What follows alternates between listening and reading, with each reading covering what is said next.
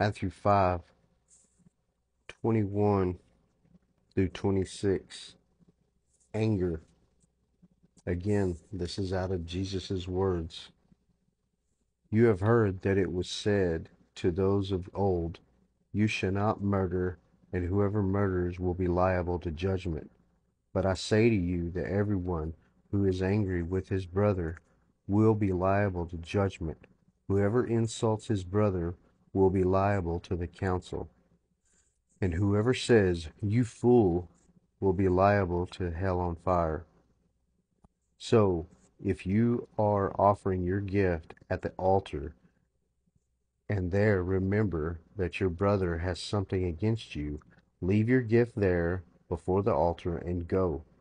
First, be reconciled to your brother, and then come and offer your gift.